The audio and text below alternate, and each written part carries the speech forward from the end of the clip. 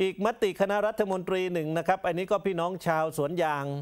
นะครับ เรียกว่าทวงถามรอคอยกันมาสักระยะหนึ่งแล้วนะครับ เพราะว่าผ่านมาตั้งแต่ปีที่แล้ว วันนี้คณะรัฐมนตรีอนุมัติงบประมาณทั้งสิ้น 7,643 ล้านนะครับ จ่ายส่วนต่างให้กับชาวสวนยางจำนวน 1.6 ล้านคนนะครับ ตั้งแต่เดือนมกราถึงกันยายน 2566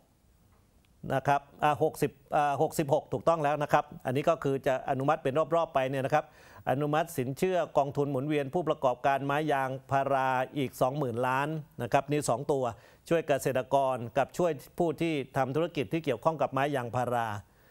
การจ่ายส่วนต่างให้กับชาวสวนยางรอบนี้ก็เป็น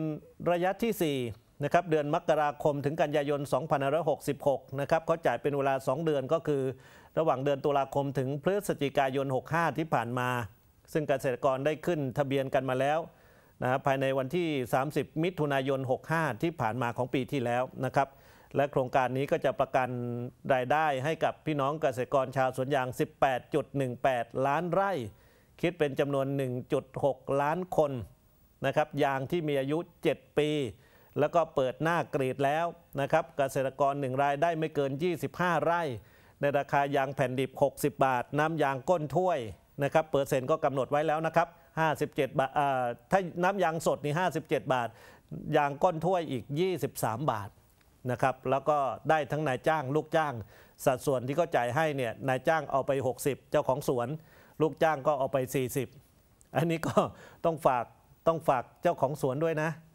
แบ่งให้ลูกจ้างคนกรีดด้วยนะ ถ้าท่านเอาคนเดียวถ้าท่านเอาคนเดียวอะลูกจ้างไม่มีทางเลือก จะหนีไปหาเจ้าอื่น ก็ไม่ได้เพราะเจ้าอื่นก็ทำเหมือนกัน เห็นใจเขาด้วยนะรัฐนี่เขาให้เนี่ยเขาให้ให้เจ้าของสวน 60 ให้คนกรีด 40 บางคนเนี่ยไม่ได้กรีดเอง แต่พอรัฐจ่ายมาแบบนี้ปั๊บก็เลยไปเอาชื่อลูกเอาชื่อหลานที่เรียนหนังสืออยู่ในเมืองอยู่ในกรุงเทพ ซึ่งไม่ได้กรีดยาง แต่ไปจ้างคนกรีด บางทีจ้างต่างด้าว บางทีจ้างคนไทย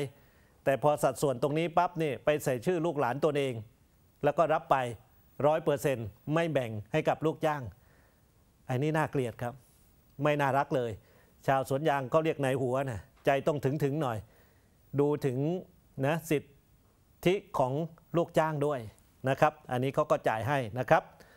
อันนี้ก็มีในช่วงระยะเวลา 3 3 ปีที่ผ่านมาเนี่ยที่มีการจ่ายส่วนต่างกับชาวสวนยางเนี่ยตั้งแต่ตุลาคม 2562 ที่รัฐบาลชุดนี้เข้ามา